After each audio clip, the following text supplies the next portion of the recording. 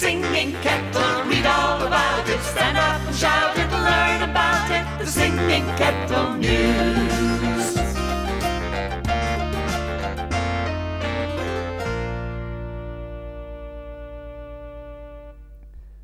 Yes, this was a real thing. Before we dissect it, let's recap the Singing Kettle TV shows. We have The Singing Kettle 1, 2, and 3 from 1990 to 1992, Singing Kettle Christmas Crackers from Christmas 92, Adventures in Kettleland in 93.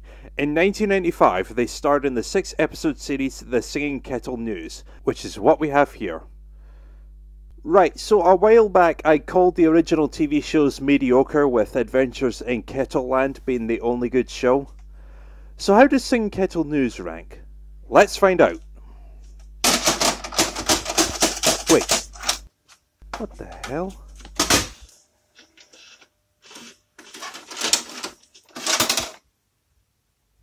Ugh.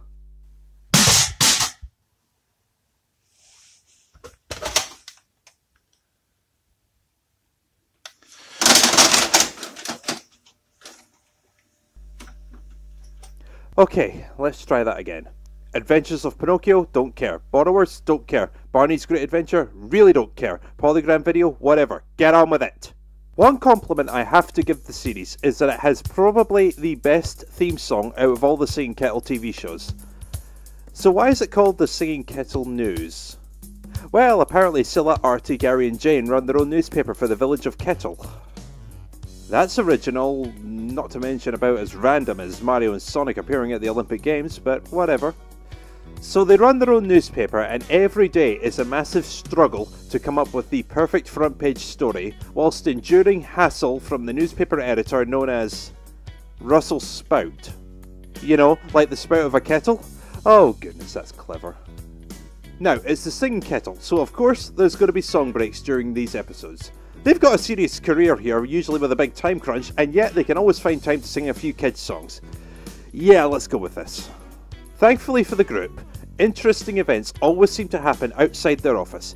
Events that actually inspire their front news stories. A bus breaks down, a new fitness regime, faulty traffic lights, a cake judging contest, a massive flood. Oh no no no no no no no no no no more floods. Don't remind me. Don't fucking remind me. So that about sums up an episode of the Singing Kettle News. The group struggles to think up stories for the front page, something happens outside that piques their interest, they sing a song, they write a story for the front page based on whatever happens outside, a countdown begins, the team deposit their stories as well as Gary's illustrations in this giant kettle, because of course they do. They sing another song, they retrieve the complete newspaper from the aforementioned giant kettle by saying a certain rhyme, they marvel at the crap they've been able to write that day, and not a word is mentioned about them being fired for the incredibly irrelevant stories they published. Yeah, there are some silly bits here and there, but does that make the show a bad one? Yeah, probably not. As an adult that grew up with The Singing Kettle, I think it's an okay show. Not great, but it at least has a plot and tries something original. It's a weird concept, but they make it work. I still think Adventures in Kettleland was a better series, but hey, this one's original and the kids will probably enjoy it. I could end things now, but there was actually a sequel, Sing All About It, released in 1996. I won't cover this one because it's more or less the same. The only real difference is that there's only one song per episode and it's always sung at the end in front of the live audience. This series is not that good. Honestly, I think the series went a bit downhill when the audience aspect was introduced. How ironic. And actually, Sing All About It wasn't the last of it. The group returned for a third and fourth TV season, which was just called The Singing Kettle. Yeah, to keep it short, these last two seasons just flat out suck. They are bad. The charm from Singing Kettle News is all gone at this point. The whole newspaper concept has gone out the window. Now it's just the group backstage before a show where they spend 5 minutes trying to decide what song to sing during their show. That is about it. There are some shitty plot elements thrown in, but that's it. To me, the 25 year old, it feels like the Singing Kettle fared better as a stage show. The TV shows ranged from average and mediocre to just flat out awful most of the time.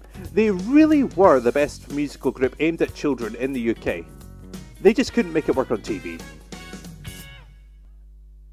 Right, that's enough of that.